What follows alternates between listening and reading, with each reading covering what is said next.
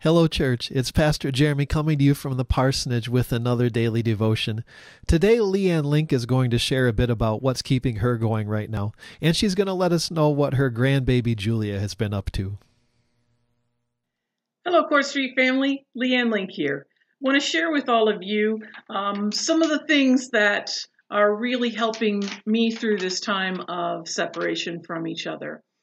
Um, I know that I really enjoy reading and can get lost in books or news articles for hours at a time.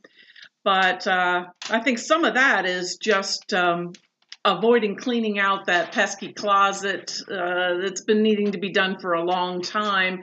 And um, anyway, um, I need to tell you that you, Court Street friends and family, um, are what are really helping me keep me going. Um, our fabulous weekly church services and our devotional times help to put a tiny dent in my calendar each week. Um, my family Zoom time has been fun for some laughs, like uh, where's the grid view? Or um, how do I turn on the microphone? And how did the kids just type in comments? Um, how did we just spend two hours on a Zoom conversation and all we did was laugh? And I don't know whether we talked about anything or not. Um, but those are a lot of fun. Uh, those video chats and texts from family.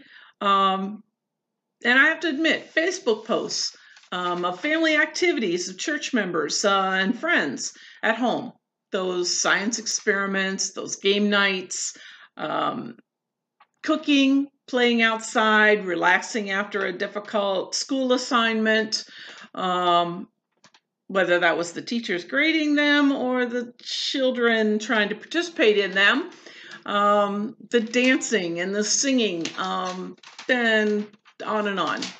Uh, those cartoons and inspirational quotes, history, joys, concerns, um, and just hi or thumbs up or a smiley face on Facebook.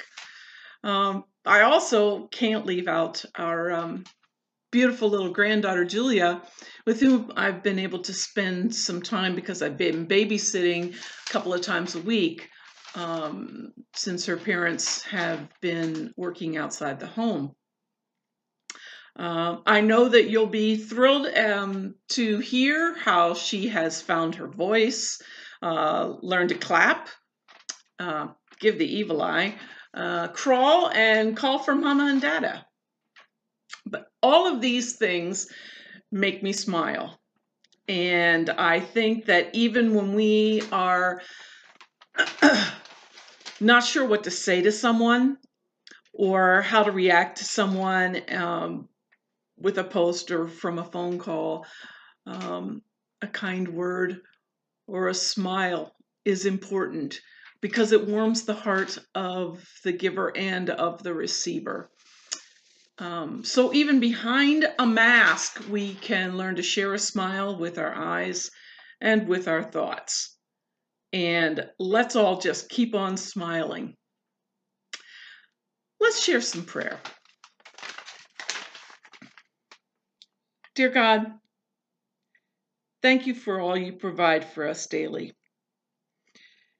We thank you for our connections to the church and each other.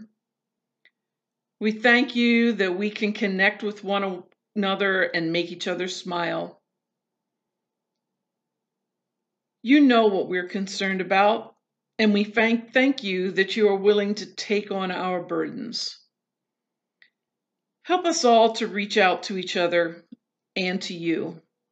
Help us to work together to keep each other safe and healthy. Help us to be present with each other, even from the safety of our homes. Grant us guidance, grace, and peace. Amen. Till we meet again, Court Street, keep on smiling. Thank you, Lianne, for those words of encouragement. We're glad that you've been getting to spend some virtual time with the baby. If Lianne said something that gave you comfort or resonated with you, let her know in the comments.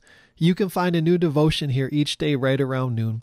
Until we meet again, keep washing your hands, stay at home, and do not be afraid.